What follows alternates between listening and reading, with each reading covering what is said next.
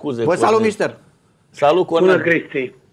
Mihai Stoichiță vrea să Cornele. spună ceva înainte să intrăm păi în dialog. Nu, nu, nu putem, că e federația. Mersi, păi mersi, asta mersi, vezi? eu, măcar mersi să vă salut respect. și să lăsăm FRF-ul să-și facă treaba. Mersi pentru respect.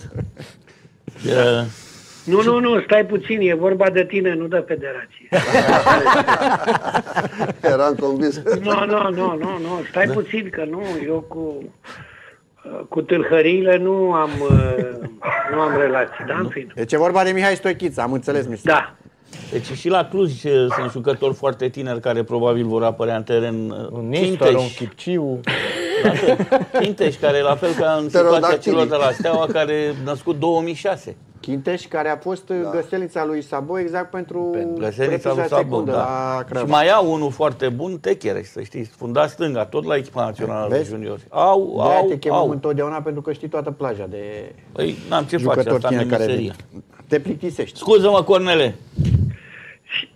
Știe, știe plaja, dar um, dar nu face de, plajă. Nu, nu, nu simte scoicile de pe plajă, pentru că în partida de ieri între Dinamo și Oțelul, în minutul 1, erau 8 străini în distribuția lui Dinamo și 8 străini în distribuția lui, lui Oțelul. Și de aceea eu, în, în fanatic în revistă, am avut un articol în care de data aceasta am apreciat măsura Federației de a reduce numărul străinilor în campionatul nostru este binevenită, trebuia făcută mai de mult. Și acum mai e ceva. Sigur că sunt talente, se nasc, dar vedeți că foarte multe dintre ele, așa cum s-au întors și chiar la nivelul echipei naționale, au plecat din România, s-au antrenat în academii străine și au venit de acolo pentru primele echipe sau chiar pentru echipa națională a României. Deci este un fenomen uh, foarte interesant, dar extrem de periculos pentru ceea ce înseamnă reprezentarea națională. Cum vi s-a părut uh, Dinamo cu Oțelul și această victorie cu 3 la 1? Și apropo de străini, să știți că Mihai Stoichiță a, a punctat încă de la începutul emisiunii faptul că sunt foarte puțini români, dar anul viitor cu această regulă vor fi probleme și pentru Dinamo, și pentru Oțelul, și pentru alte formații care au mulți străini. Mai există, mai există ceva foarte interesant în subiectul acesta. Uh, tradiția care s-a pierdut, pentru că noi am avut uh, până acum vreo 15-20 de ani, chiar mai înainte, am avut antrenori numai români la echipele noastre. Ori uh, românii, în general, uh, țin la ceea ce înseamnă sămânța lor și sunt foarte mulți, a existat o tradiție. Antrenor mari, nu vreau să dau nume, de la Colomon Brau Bogdan, ai terminând cu, cu Traian Ionescu sau dacă vrei și mai spre zilele noastre, Halagian și așa mai departe, erau, într-adevăr, adepții să arunce în luptă jucători români, pentru că, sigur, nici nu era regula aia care a început odată cu procesul uh, Bosman în, minutul, în 1999. Dar aveau această tradiție și există o bucurie pe care eu am trăit-o pentru că am făcut așa ceva. O bucurie fantastică când vezi că un puș care e la 16-17 ani reușește și devine un jucător foarte bun pentru echipa națională. Deci eu am trăit satisfacția asta la nivelul echipei naționale, dar mă rog, să uită puțin, să gândesc la statistică, puțin calculează așa ceva. Deci în perioada când am fost antrenor la Dinamo, am promovat foarte mulți jucători, foarte mulți jucători tineri crescuți la Dinamo, știam ceea ce înseamnă și centrul de la Dinamo, nu vreau să dau nume, dar le găsiți cu siguranță. Hai să spun Nicolae, Mihalcea, Marica, care au, au crescut acolo. Sunt foarte mulți, ca să nu mai spun și până înaintea noastră, Custov, Ion Marin, Augustin, dar Uh, este interesant că obiceiul acesta, bucuria, nu există pentru mine, așa era cel puțin, aveam în tradiția antrenorilor pe care am avut, nu exista bucurie mai mare decât aceea ca un jucător pe care îl arunc în luptă la 16, la 17 ani să confirme.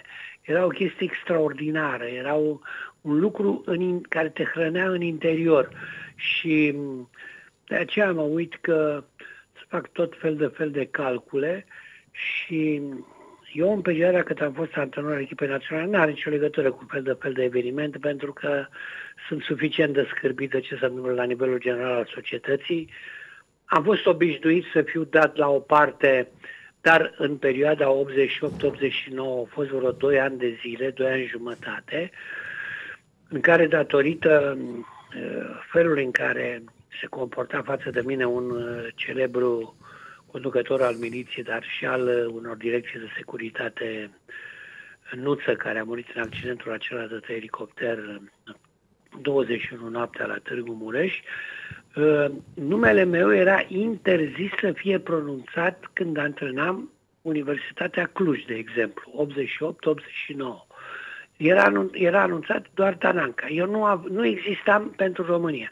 Și acum nu mă surprinde la fel că nu există pentru România, pentru că am văzut un ziarist că mă trece membru în delegația care a condus echipa la campionatul mondial de 90. Nu vreau să fac nicio referire, dacă nu se înțelege de la sine.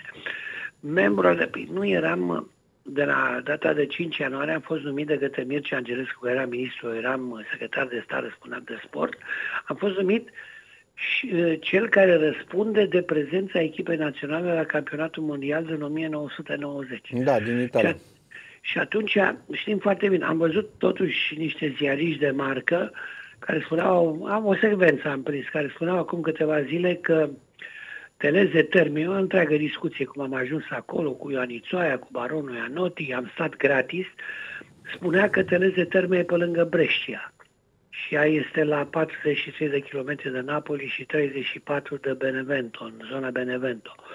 Sau faptul că în campania, s-a uitat, Teleze Termi.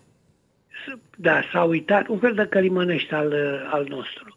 Și s-a uitat că, sigur, al italiana, că acum e în paragină Călimănești, și s-a uitat că în momentul acela um, eu am, uh, am avut niște discuții, am înțeles, nu au fost uh, chiar simple uh, conținutul acestor discuții, am introdus în echipa națională pentru că era formată din 24 de jucători, din care 22 erau de la Dinamo și de la Steaua.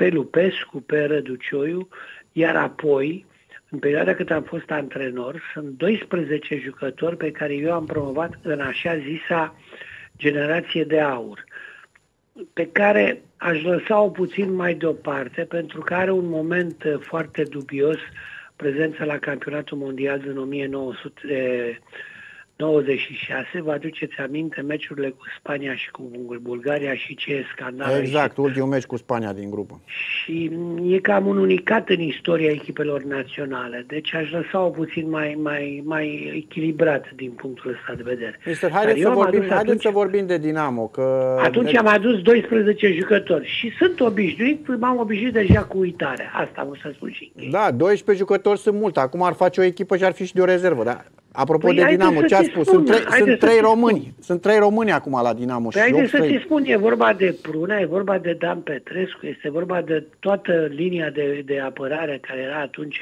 Mihali, Prodan, pe care l-am promovat, Stoichiță știe că era antrenor pe la Steaua, dacă nu mă da, știu da, atunci, da. când l-am urmărit. Apoi când m-am luptat ca să-l aduc pe Belodedici, Dorinel Munteanu, Selime și uh, nu mai are sens să mai discut Ilie Dumitrescu. Sunt vreo 12 jucători care au adus atunci la echipa națională, care plec de la discuția inițială. A fost o datorie de, de concepție a mea interioară de a promova jucători tineri, jucători de perspectivă, care contează mult mai mult decât de a-ți face treaba discutabil de moment uh, cu niște străini îndoielnici. Oricum, cred că acum obiectivul Dinamo, indiferent de câți români sunt, este să salveze, nimic altceva. În următoarele două luni. Lucrul acesta este cel mai important. Eu fac o diferență totală între felul în care este condus din punct de vedere și de cine este condus Dinamo administrativ și cu totul altceva este fotbalul. Pentru, pentru mine, deci pentru mine, ieri a fost o plăcere totuși să constat că, uite, Dinamo, cu un antrenor care provine dintr-o școală incontestabilă, aceea a fotbalului croat, după două luni de zile care cam este termenul în lumea fotbalului în care un antrenor își poate pune pecetea pe concepția și prestația de joc a unei echipe, reușește să salte această echipă. Eu consider că Dinamo ieri a făcut cel mai bun meci pe care l-a avut în ultimii doi ani de zile și că, um, indiferent de ce nu-mi place mie, oamenii care sunt, apar în tot felul de domenii și care nu au nimic cu domeniul respectiv, cum este și conducerea lui Dinamo, dar este foarte important la ora actuală și la lucrul ăsta este firesc să ținem cu toții, că această mare marcă care este Dinamo București să se salveze de la retrogradare. Sunt, oare, sunt oarecum niște semne, urmează patru jocuri mai ușoare pentru Dinamo decât pentru cei care sunt în fața lui Dinamo în lupta asta play-out și ce va mai fi după play-out. Deci, adică sfârșitul de campionat și ce va mai fi după play-out. Deci, din punctul ăsta de vedere, pentru mine a fost o plăcere să văd că, iată că repede, cam asta este, cam asta este termenul, două luni de zile, un antrenor își pune pecetea, pentru că ieri Dinamo a avut nu numai agresivitate fizică și o bună pregătire fizică, dar a avut ceva ceea ce uh, i-a lipsit uh, în ultimii ani de zile, mulți, 6-7 ani, o construcție gândită la mijlocul terenului să vedea, care se transforma în verticalizări care duceau la situații de a marca. Și de aceea spun că a fost cel mai bun joc al lui Dinamo, după părerea mea, în ultimii doi ani de zile, din punct de vedere a unei complexități de pretenții pe care le emiți la o echipă sau încerci să le vezi la o echipă. Spuneți-mi uh, că ați vorbit mai mult și de Copici. Uh, el este principala explicație pentru rezultatele, ultimele două rezultate au Dinamo?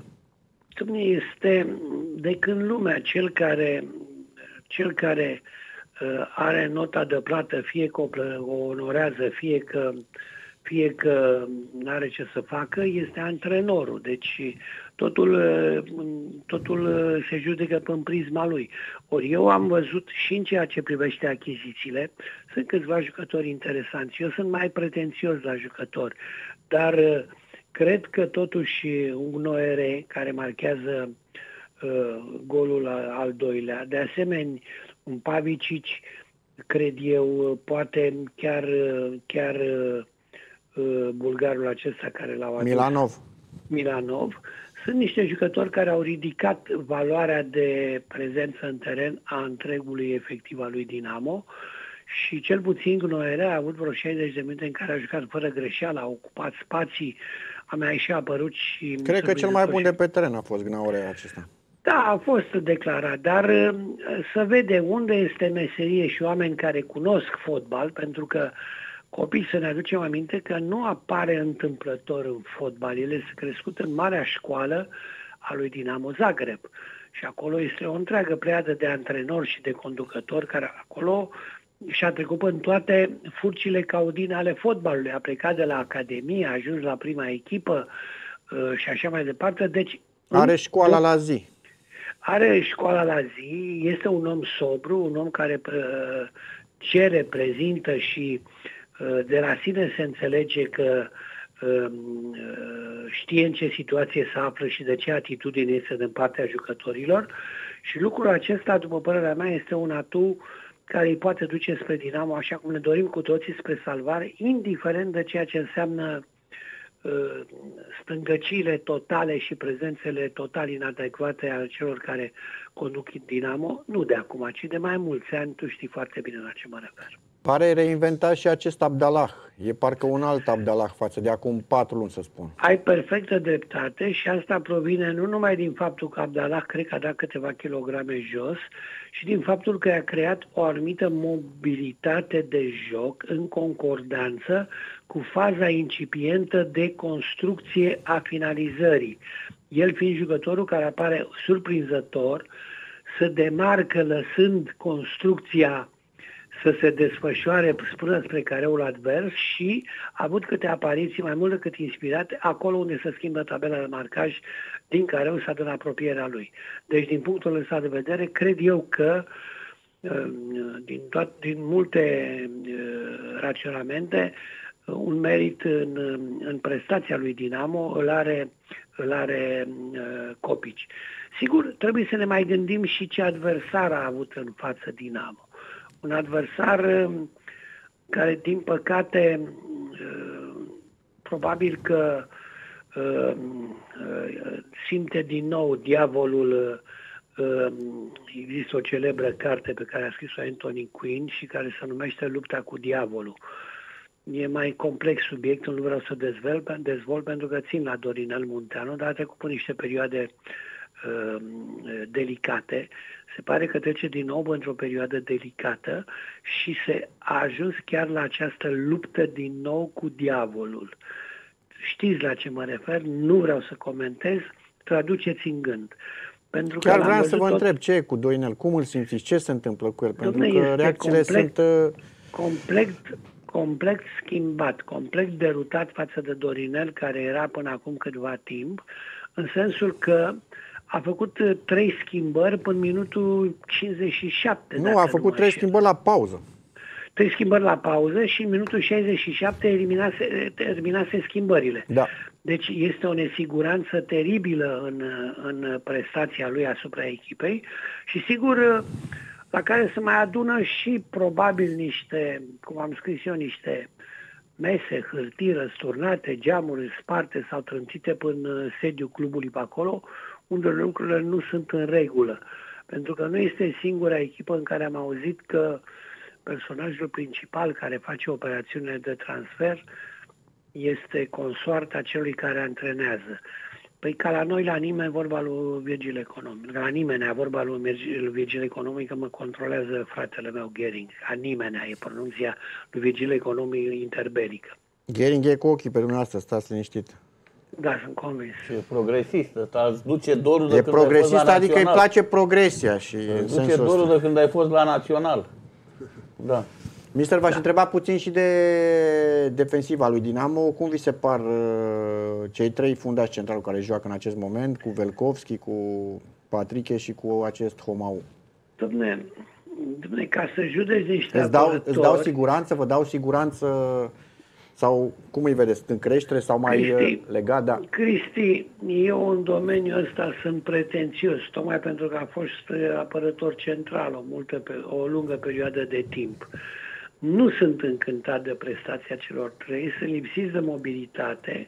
Probabil că cel puțin Velkovski nu este, n-a jucat din vară, nu este deloc uh, pus la punct cu, cu, cu jocul, pentru că a avut niște ezitări și inclusiv la jocul precedent, la Petrolul, dacă nu mă înșel, uh, două goluri s-au marcat datorită poziției lui total greșite. Deci aici să mai avem răbdare. Patrick este cum este el, Homeo are o mobilitate redusă, la fel ca și Velkovski, unde se vede lipsa jocurilor în picioare, dar uh, totuși se vede că uh, aceste deficiențe individuale ale jucătorilor au fost oarecum compensate prin felul în care le-a cerut și a antrenat să joace într-un trio eficient pe atacul advers, uh, Copici. Au greșit mult mai puțin decât în meciurile precedente. Cum vedeți uh, meciul următor? Ce urmează deplasare la Cluj, cu CFR Cluj, uh, cu Adi Mutu acolo, acest CFR Dinamo, cum îl uh, anticipați? În primul rând că în aceste patru jocuri care au mai juc, rămas de disputat în campionatul normal, eu nu sunt de acord cu play-off-ul și cu play-out-ul, este o, o amputare de puncte care nu are nici, niciun fel de raționament și este făcută niște fotbaluri Um, care fac mai multe experiențe decât performanță, deși unul dintre ele e un fotbal foarte puternic, fotbalul belgian. Um, eu cred totuși că uh, cred totuși că aici mai, um, mai trebuie lucrat, mai trebuie gândit, mai trebuie o anumită perioadă de, de, de răbdare și în același timp munca lui Copici să se definitiveze în bine și mai mult. Dinamo este oarecum avantajată în aceste patru partide, pentru că Dinamo joacă acum la CFR Cluj, desigur e un meci foarte greu, puține șanse de a câștiga, dar eu zic că se vor agăța de joc, uh, pentru că nici acolo lucrurile nu sunt încă așezate până revenirea lui Mutu. Apoi um, are un joc cu Hermannstadt acasă, joacă la Iași și joacă cu UTA deci în, în campionat în jocurile normale.